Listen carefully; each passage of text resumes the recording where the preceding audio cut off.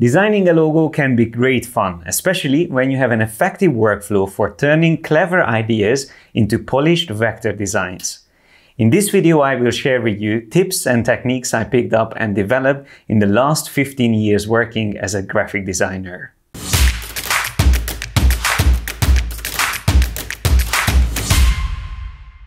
It is almost impossible to create something exceptional without first having a really good brief. And it doesn't only apply to logo design, it's pretty much true for every kind of creative project. So your responsibility as the designer is to really make sure that you got every detail right before you get started on a project.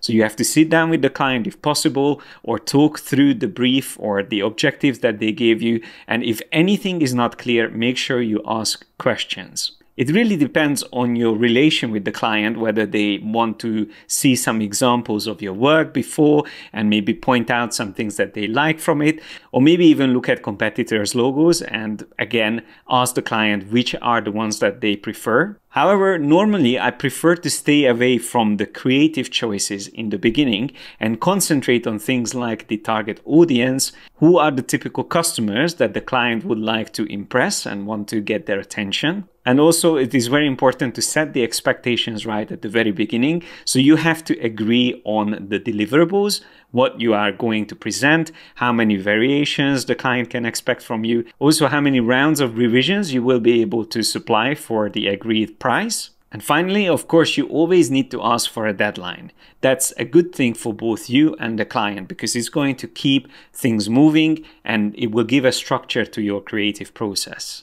Now, before you agree to anything, always remember that you should never overpromise. So make sure that whatever you agree to, you're not only capable to deliver, but also you most likely will be able to exceed the expectations. For instance, if there is a tight deadline and you know that you can do, let's say, three logo variations in a day, then instead count and promise only two for each day that you are going to work on the project. This way you can keep your client happy and they will become a return customer because again, you exceed their expectations. And for this video, the project that I'm using as an example is just a fictional creative brief one of many creative projects that we provide to our pro member students.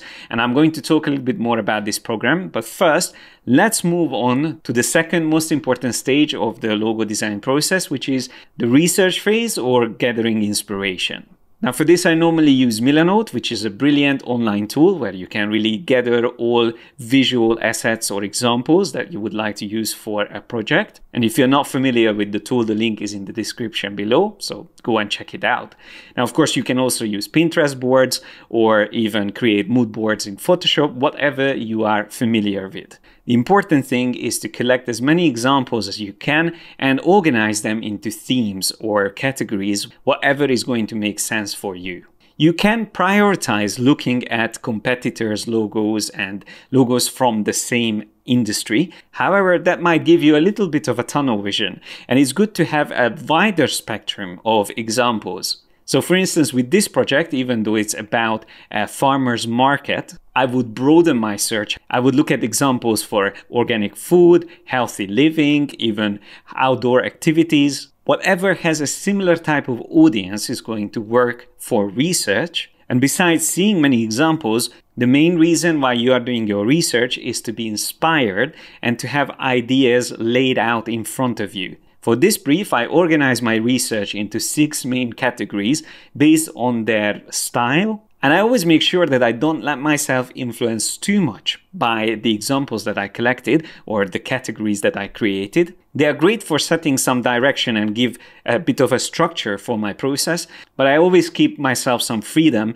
to explore and to even cross in between these categories that I create. The next stage of the process is definitely the most fun and the most creative one.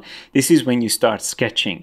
Now, if you're not good at drawing, don't worry, because your sketches can be very simple. They can be rough thumbnails instead of being very detailed. And to be honest, it is not good to create too detailed sketches anyway, because again, they might force you to really follow everything and add all the same details once you get into Illustrator. So instead, it's good to keep them a little bit rough, and depending on your drawing skills, you can judge what works for you. But please remember never to jump into Illustrator straight after you've done your research. You can start sketching already while you are researching because if an idea comes while you see some cool examples, you should note it down and you should record it because it is so easy to lose and forget some of those brilliant sparks that you get from looking at some inspiring work. Also, it's good not to limit yourself how many sketches you create. I would say minimum three is good and probably maximum 20, but you can have as many as you want. And if you have more than 10, I would always say it's good to filter the ideas down already. Maybe select around 5, 6 that stands out and that you feel like is worth developing further. Now, once you have your sketches ready, it's time to jump into Illustrator. And what I would normally do is to set up a template layer. So that just helps to keep the sketches in the background and have everything faded so I can work easily on top of it. So here you can see I already placed in these images. They are just simple JPEGs. And then I'm going to double click on the layer and choose template and then set the dim to around 20%. You can keep it higher or lower, whatever works for you, but I prefer to keep it quite low in terms of visibility. And this layer can easily be turned on and off, but by default, it's going to also be locked. So that just allows you to work easily on a separate layer on top of it. And it's important to create that empty new layer because Illustrator won't let you to work on a template layer. Now, once you start working and adding details, you will still see the template underneath. And occasionally you might want to just turn it off and turn it back on to be able to see it without the sketch. However, if you have a large monitor, or even better, a second screen, there is another method that you can use. Just go to the window menu and choose new window. This is going to open the same document as a separate window. So it is a linked document. It's not a separate document. You can see here on the top, it will say version one, version two. And just so we can see it together, I'm going to choose arrange tile so that way we can see the two windows side by side. And this is when you have a second screen, you can just drag one of these windows onto that other monitor. But for now, I'm going to select this window here on the right, and I'm going to turn off the template on that one which will only affect that window on the right and not the one on the left, even though it's the same file. Having two separate windows allows you to even see different layers at the same time. So you can continue working with either one of these and the changes will be visible on both of them at the same time. This is extremely useful specifically for logo design, where you can also use this method to have one of the versions zoomed out while the other one is zoomed in. So you can work on small details, but always keep an eye on the overall design. And you should never forget looking at your logo from a distance anyway, because if you are always zoomed in, you will end up adding too many little details that won't even be properly visible once the logo is in use printed on a small business card, for instance. So having two windows in Illustrator is useful for many reasons. And of course, even though it's two windows, you have to save it only once. And you don't have to worry about accidentally closing one of them, because as long as one of them is open, you will always be able to maintain and keep whatever changes you made. Now, before we look at the other designs I created for this project and also some other useful methods in Illustrator, here are some examples of the work that our Pro member students submitted for this brief. And I'm always amazed and impressed by the variety of different concepts and ideas that each student comes up. We are very proud to have such an amazing community of students who are creative, passionate, and also supportive, helping each other to improve. I honestly feel like the best way of learning is by doing. So besides watching online courses and learn how to use specific tools like Illustrator, the fastest way you can improve is by actually working on projects. And the safest way to start out is not to work on real projects for real clients, but instead working on made up briefs like this one, which could be easily a real life project. It has its brief and its deliverables, but instead of presenting to the client, you are presenting to me. And I'm giving my feedback that will help you to improve. And most of our students have to go through one or two rounds of review before they get their logos finalized and approved. And being able to accept the criticism and take on the feedback and improve your work is so important. Just like for professional athletes, they have to push themselves to improve. The same thing is true for creatives. So you have to get out of your comfort zone to be able to improve. Now, jumping back to Illustrator, you could see that I was drawing everything over the sketches and recreating everything with vectors. However, at this point, I'm not adding any fill colors yet. No gradients, no colors, just pure black and white details. The main reason I'm doing that is to be able to concentrate on more important things that will define a good composition like contrast, line density, hierarchy, and balance. Let me give you a quick example. If I zoom closer on this design, I remember originally I had these branches here at the bottom with the same stroke width as the rest of the details. So you can see currently these ones are a little bit thinner than the other lines here on the top. So if I go into and edit this, which by the way is a symbol, and I increase the size of the strokes to 5, which is the same as the rest of them. It will update on both sides because it was set up as a symbol, but when we zoom out, we can see how it looks with 5 point stroke size and how it was with 3 points. So once again, there's the 5 point and there's the 3 points. Now it is a very subtle difference, but you have to always ask yourself, is this helping the composition? Is that an important detail there to have such a big emphasis on it? Because all of those compressed details, the leaves next to each other, really create a busy and dense detail there. And the question is always, do we need it? Is it helping the composition?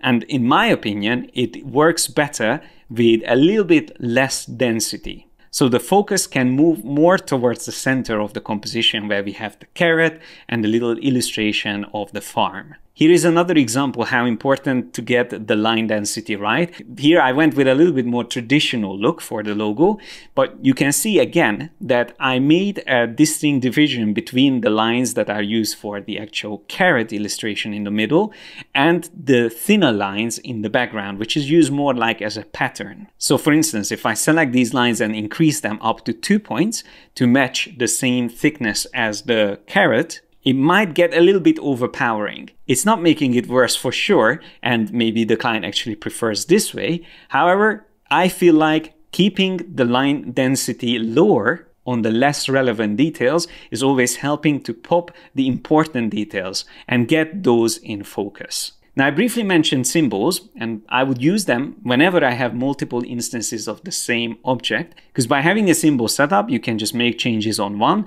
and it will roll out the changes to all the instances. It's like working with components in Adobe XD, and I can show it to you here on this design with the carrots.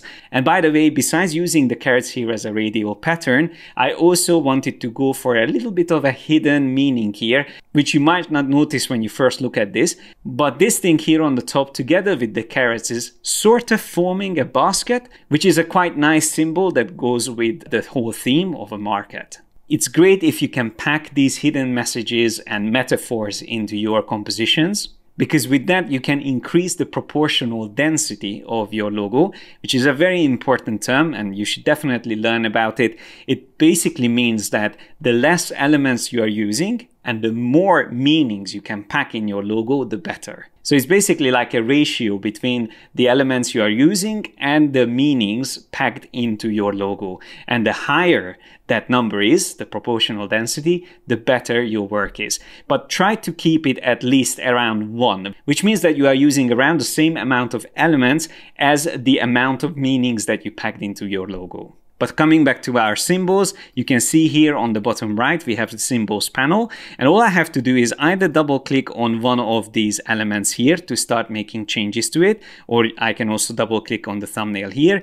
And let's just say we are going to move these lines a little bit closer. So I'm just going to move that up and this other one also we will move down. Okay, now if I double click outside, it will immediately update all of the elements straight away. In general, whenever you work in Illustrator, you want to be efficient and do everything the smart way. It's not only going to save you time once when you set it up, but also whenever you need to come back and make changes after the revisions from the client. So work smart and save time. A good example would be how I do shading on logos or illustrations in general. So for this, all I need is to just duplicate an element. In this case, let's just get this fun little carrot character. So copy and paste in front. That's Control or Command C and then Control Command F If we look at our layers panel, we can see that there's two of the same objects. And by the way, I just double clicked on this group to isolate it. And that's why everything else in the background is grayed out. And now that we have this second version, what I would normally do first is to change it to multiply blend mode and usually reduce the opacity maybe down to 50%. Now that's not always necessary, it depends on the colors or the shading that you're going for. But besides that, I also like to slightly change the hue and maybe make it a little bit more warm or cooler, again, whichever you prefer. But by doing this, now we have two versions. We have the original color and the shading color or the shadow color on top of it. And now that we have this created, we can open another important panel called transparency, where we just have to click on make mask. Now by default, this is going to completely hide this object, which is great we don't actually need to do anything else apart from selecting the mask. So here in this transparency panel, you just have to click on that black thumbnail and it also shows in the layers panel, it tells you that you are now working within the opacity mask of that object. So there won't be any layers visible at this point. But now to reveal parts of this object, I am going to use the blob brush tool, which is here in the toolbar. Shift B is the shortcut. And with the square brackets, you can increase or decrease the size of your brush. And you want to set up the fill color to be white. You don't need a stroke color here, so we can just set that to none. And by drawing with white in an opacity mask, you are going to reveal all of those details that you paint over. So all I'm going to do here is to just nicely paint over this section here on the right. Maybe just show a little bit more of the shading there just under the eyebrow.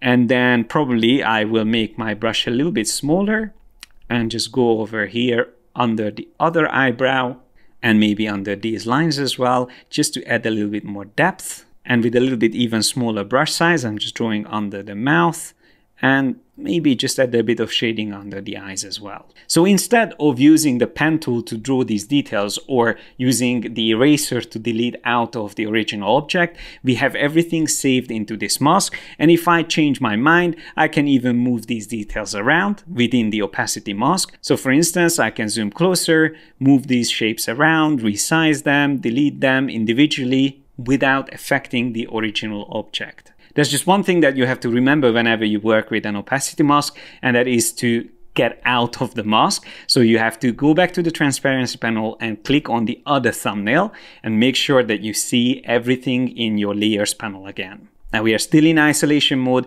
but to also get out of that, I'm going to double click outside of the illustration. So we are back to seeing our main layers and we can continue working as normal.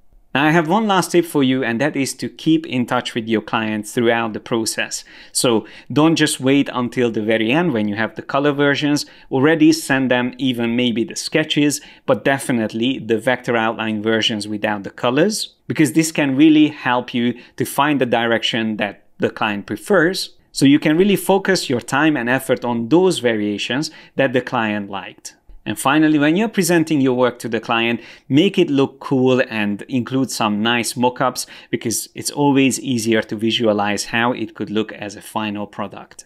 And that's all I wanted to cover in this video. Of course, there's a lot more to talk about when it comes to logo design. So if you're interested in this topic, please let me know in the comment section below and I can cover different techniques and focus on more specific styles in the future if this is the type of content that you enjoy. And finally, if you fancy working on creative briefs like this one, make sure you check out our pro membership for which the link is in the description below. Thanks a lot for watching. Like and share this video if you enjoyed it. Don't forget to subscribe and hit the bell icon to get notified whenever we release new videos. Click on the link on my right and start your membership today to get access to over 200 hours of training courses and personal mentoring by me and my team of creative professionals. Have fun learning guys and I will see you in the next one.